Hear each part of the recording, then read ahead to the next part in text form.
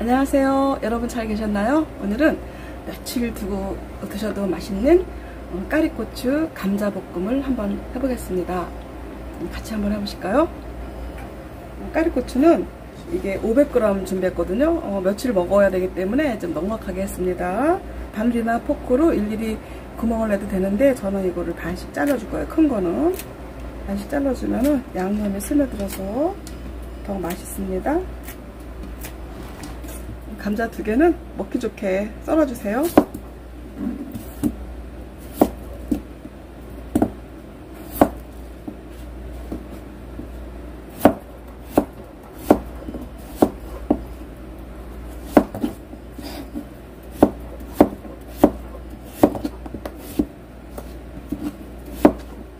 납작납작하게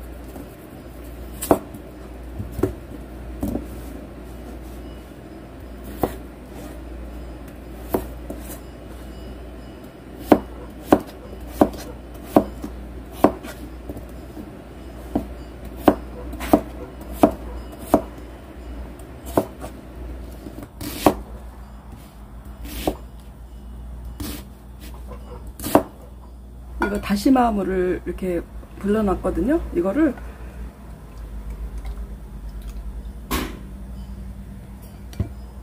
종이컵 기준이거든요.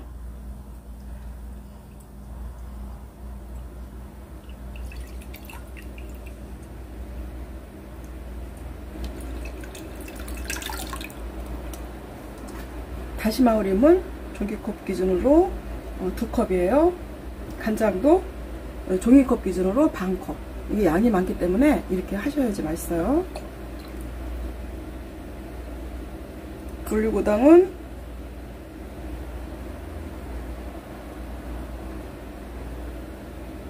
두 큰술. 다진 마늘은 요거 한 큰술이요. 여기서 간을 보시고요. 여기서 기호에 맞게 해서 드시면 됩니다. 좀 짭짤하게 먹고 싶어 그러면 여기서 간을 더 하시면 되고요. 저는 이게 딱 맞거든요. 끓는 물에 감자를 요거 2분 정도만 데쳐줄 거예요.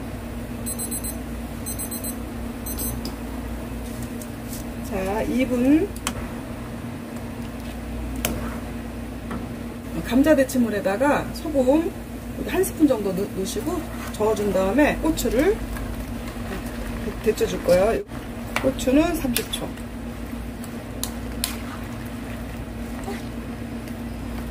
깨끗하게 씻은 거기 때문에 그냥 건져주시면 돼요.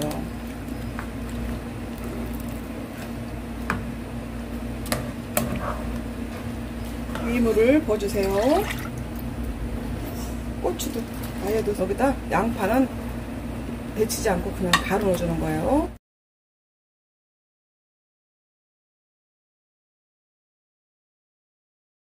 아니면 중간에 또 좀 올려주시고 해서 이렇게 13분 졸였거든요. 이렇게 이제 다 됐거든요.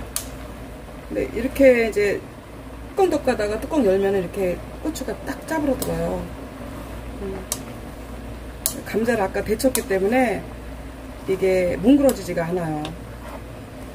음, 다 됐고요. 이제 여기다가 올리고당 한 스푼 넣고 윤기나게 참기름 두 스푼 올리고당 여기 한 스푼 넣고 윤기나게 기름 두 스푼. 자 이제 다 됐습니다. 어, 여러분 도움되셨나요? 간단하게 네, 감자와 까리고추를 졸여봤습니다. 음, 종류는 여러 가지인데 네, 제가 해먹은 결과 이렇게 자박자박하게 해서 먹으면은 어, 국물도 떠 드실 수 있고 또 식을, 식으면 나중에 데펴 드시기도 좋아요. 음, 그리고 또 좀 더 졸이고 싶어 그러면 여기서 좀 더 졸이, 졸이시면 돼요. 그 대신에 막 이렇게 뒤적뒤적 하지 마시고 그대로 졸이셔가지고 한 번만 뒤적거리시고 마무리는 참기름하고 올리고당으로 마무리하시면 됩니다. 어, 간은 여러분들이 기호에 맞게 해드시고 이게 다 양이 좀 다르기 때문에 네, 간은 꼭 여러분이 맞추셔야 돼요. 음, 저는 그렇게 짜지 않겠습니다. 어, 구독은 무료이고요. 알림을 하시면 저의 많은 영상을 보실 수 있어요. 어, 여러분 다음에도 새로운 모습으로 보답하겠습니다. 여러분 사랑합니다. 감사합니다.